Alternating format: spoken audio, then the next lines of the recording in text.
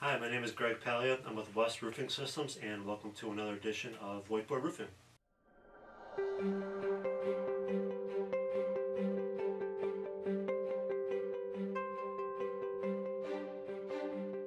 In today's episode we're going to talk about how to cost effectively restore a unique or unusual roofing system. And talking about commercial roofs that have you know different roofing areas, uh, different slopes. Maybe it could be sloping this way, flat this way, and then it goes up a wall, skylights, all that unique, weird stuff. Anything besides a flat, boring roof. Um, we're going to talk about how to cost effectively um, restore that roof today. Um, and really, the only two options are uh, the, uh, the, fluid applied roofing system. Um, there's spray polyurethane foam, and there's roof coating systems um, on their own.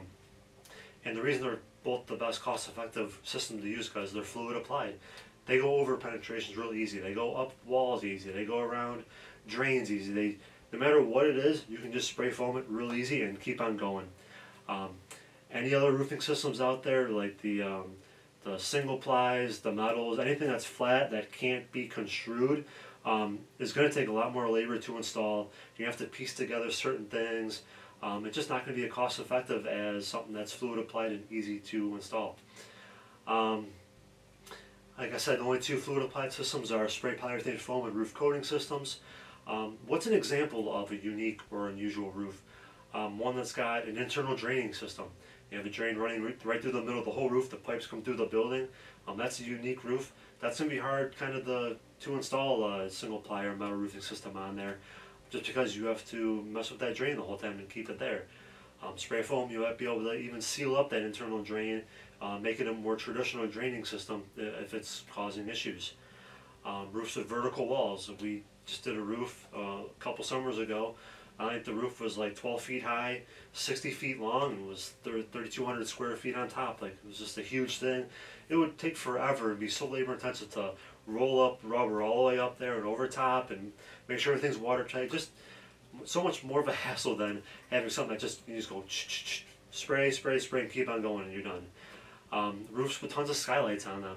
Um, you might have to remove them. You might have to do whatever you can to keep them watertight, but just the ease of spraying around them just makes something so much easier than something that has to be pieced together. Um, like I said, the problems with traditional roofing systems, they're just they just get in the way. The any penetration just interrupts the process and takes forever. Um, I've seen roofs where you can't go three feet without something being in the way. It would take forever to piece together you know, a single ply roof in that system. Um, you should at least get a quote for a coating system and you know the labor will be in that project cost, but you know that all combined might be a lot less than if you went with a single ply system. And then what's the projected cost difference um, between the two um, and what factors make it a bigger difference? Um, there's really no, no way to tell.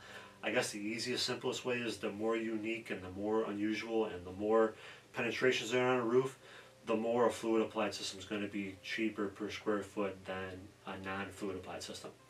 Uh, but what I would do is just get a quote for get a quote for a single ply system, get a quote for a metal roof, get a quote for a roof coating system or spray foam.